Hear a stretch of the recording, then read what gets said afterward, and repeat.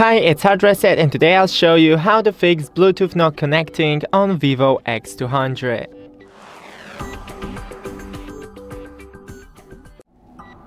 So first, go into the quick settings by scrolling from the top of your phone and once again, then disable and enable the Bluetooth.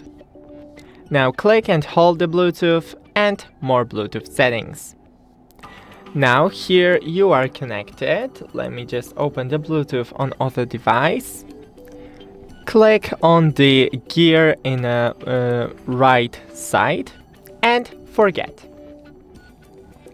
Now click to connect once again. Click pair. And uh, now if it's still not working, try to restart your phone and the other Bluetooth device.